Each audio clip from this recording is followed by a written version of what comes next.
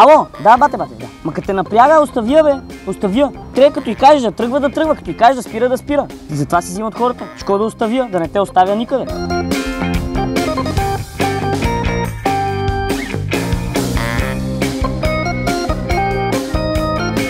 Днес ще ви представя един много як автомобил, дето е супер надежден и много безпроблемен. Шкода Оставия. Пардон, не я оставяй. Шкода Октавия.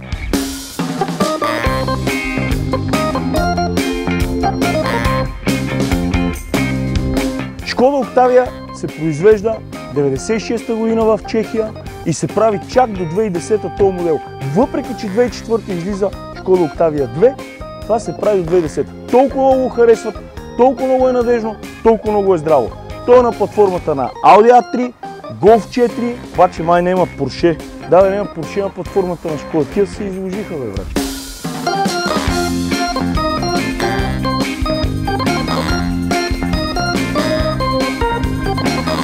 Тъй като Шкодата не може да ни остави никъде, може да отидем на края на света. Затова взимаме една е такава карта. И си караш цела България, гледай. Горе, лево, десно, горе, доле, навсекъде можеш да си караш.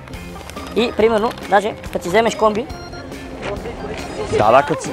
Няма нищо, като си вземете комби, може да си го качвате без броня и детето си го возите. Те поне се произвеждат два варианта.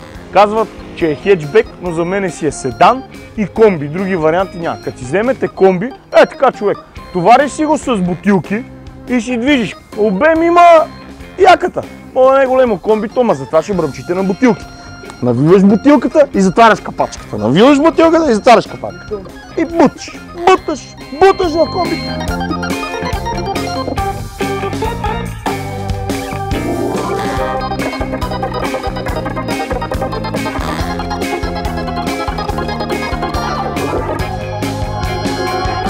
2001 година прави фейслифта. Разликата е ню-ню. Има разлика малко в фаровете, в решетката, предната броня с по-големи отвори и вътре малко по интериора. Нищо толкова интересно, но наистина малко по-красива ми. Запомнете, че Шкода Октавия е като Audi A3, като Golf 4 и като Seat. Окачването е едно и също, спирачките са същите, дисковете са същите, здраво, надежно и ефтино. Гумите, когато са на 15 са оригинални, са без проблеми, супер масов размер, ефтини и вози супер. Шкода Лака има много здраво задно окачване, има и версии 4x4 с Haldex, което е много готино, супер здраво и много добре работещо.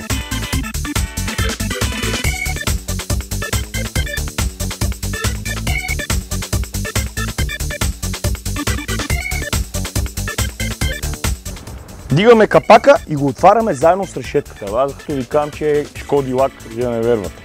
Вадиме пиштола, защото вага джийка има 150 мотора.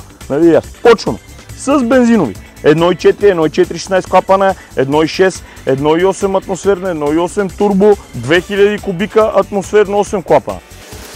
Дизелче. 1.9 теди.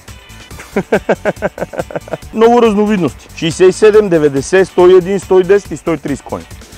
Всичките дизелови мотори са много хубави, но когато го купувате, трябва да гледате едно много важно нещо. Имат проблеми с повдигачите, оттам изяждат вала и колата много странно губи мощност и почва да пувка е тук в котията. Не мога как да ви го обясня.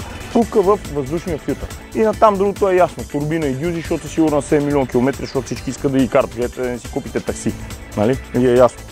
При бензина много внимателно трябва да подберете правилната конфигурация, защото тия 1.4 и 1.6, както знаем на вага, харчат масло и са малко кофти. За бензина, което ще ви препоръчаме, или си вземете 2000 кубика атмосферна си сложите газ, или си вземете 1.8 турбо.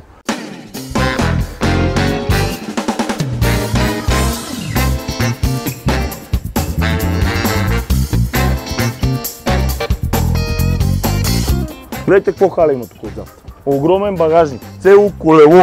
Е така, има место, гледай като караш да се хлопа, а не е така да си го набутал. И евалата. Дигнали са достатъчно нагоре багажника, че да не си удариш главата.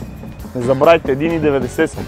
Защото нали е много гадно. Тръгнеш и... е, и припадаш. Всеки си каже, «Е, как мога да сложите тази каишка? Ми честно да ви кажа, кефи ме, защото когато искаш да затвориш багажника, нещо, което най-много мраза е да го фане така. Защото е мръсен и винаги си изцапан.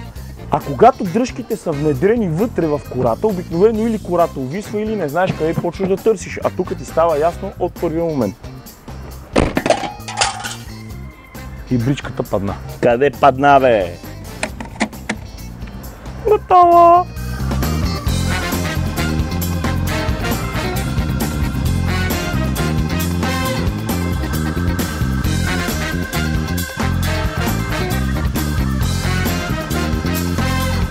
В Шкоди лака, вътре като влезеш, леко си притеснен, защото е ефтиничко.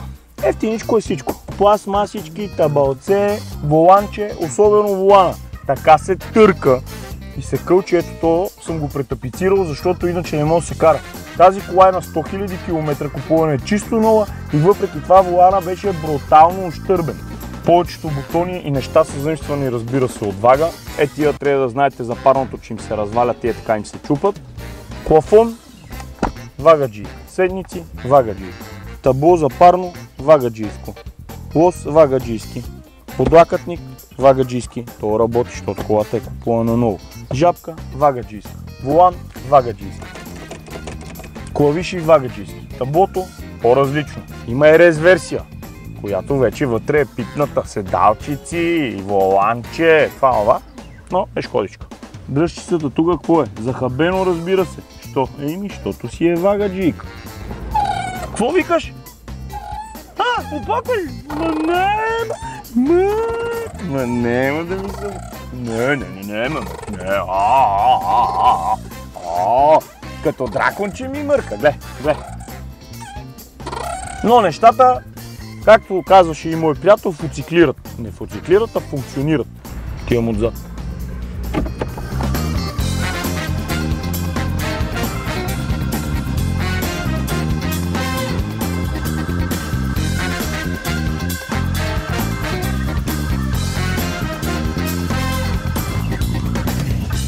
Удобни са седалчиците. Лонгора отпред, както знаете, е дръпнал седалката назад. Няма подлакътник. Върши работа. Дръжчица. Добре. Да, удобно е. Малка, скромна. Все пак не забравяйте цената. Ефтино. Най-интересното е, то всеки път е най-интересно. Ама наистина тук е интересно. Като отвориш автобегето, започват от 1351 лева и 64 стотинки, наистина, и стигат до 8 бона. Аре да караме, че ми е интересно. Комби с А3 окачване и Golf 4, какво се е получило?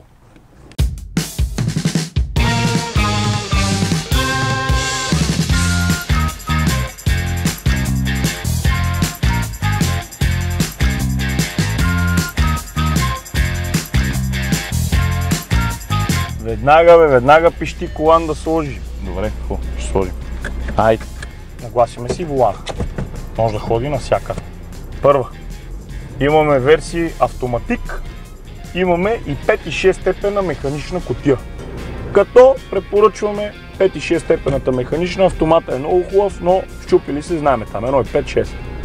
Скоростите се включват супер леко, волана се върти много приятно, позицията е много добра, изглежда ефтино, но е комфортно и удобно. Ефтино окачване, но яко. Без проблем. Тук е супер неравно, но с оригиналните 15 вози много готино. Хем ефтин размера, хем си караш. Искам да ви кажа, че 4x4 версията съм адски впечатлен. Зимата ми се е налагало. Слагате 4 чисто нови хубави гуми и мога да ви кажа, че тази кола няма спирка, минава от всякъде. Трябва да подберете единствено правилните мотори. 1.4 и 1.6 ги забравете, защото да, с малък данък са, но знаете, че вага тия 1.4 и 1.6 са проблеми. Аз бих си взел 1.8 турбо 4x4 с 6 скорости. Фейсова. А пък ако не искате, ще си вземете един 2000 кубика атмосферен 8 клапано 115 биете му на газ и се возите и си пеете и си свиркате. Дизелите 1.9 TDI, помпа дюза 105 коня, 130 коньовия също е адски здрав, върви на бургия.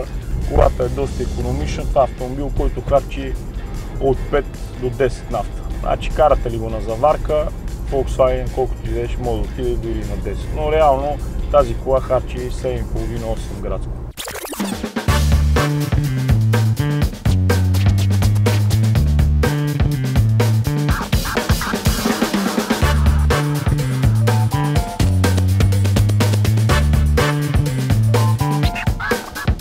И сега какво стана на финала?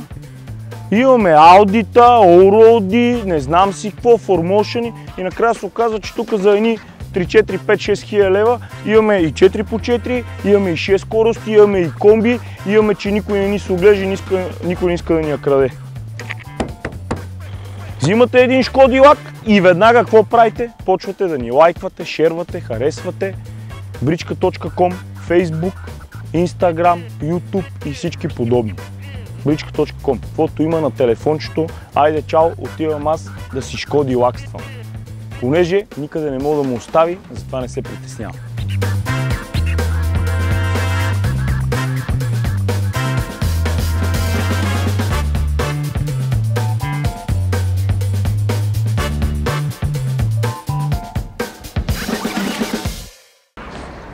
Та не е оставила никой. Никога.